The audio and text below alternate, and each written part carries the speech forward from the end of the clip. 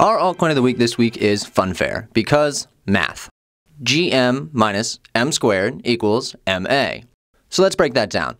What is the best way to get people engaged in something? Make it a game. How do you get even more people engaged? Give them an opportunity to win money. How to get them even more engaged in that? Give them an opportunity to lose money. So, game times money minus money squared equals mass adoption, the Funfair formula. Funfair is our altcoin of the week because it targets everyone, and I mean everyone. It is our altcoin of the week because of casino floors at 4 o'clock on a Tuesday. It is our altcoin of the week because sometimes mommy needs a break. And it is our altcoin of the week because of boredom, because of public transportation, and because everybody poops. Funfair claims to revolutionize the casino industry by harnessing the power of blockchain technology. This is the best idea since someone decided to revolutionize the peanut butter industry by harnessing the power of chocolate. The blockchain ensures that online casinos are not able to rig games in any way, and players can then be certain that they are solely responsible for losing their own money and no one will ever again have to listen to their uncle claim that a game cheated him. In their introduction video on the website, they claim to not only bring the technology to the table, but also the games of their own. Jeremy Longley, the CTO, says that they will bring games that are fun, exciting, fast, and engaging.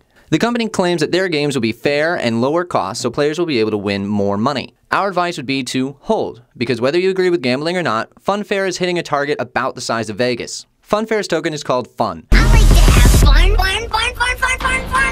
They are literally giving you the opportunity to win or lose fun. This is so that when your spouse finds out you've lost all your daughter's college tuition money, your last conversation before they divorce you can go like this. How could you lose all that money? I don't know, I just had so much fun. But don't worry, you can always while away your woes by playing some games on Funfair.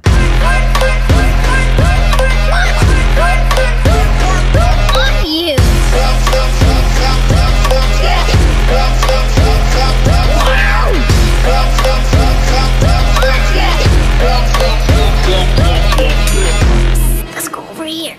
Just you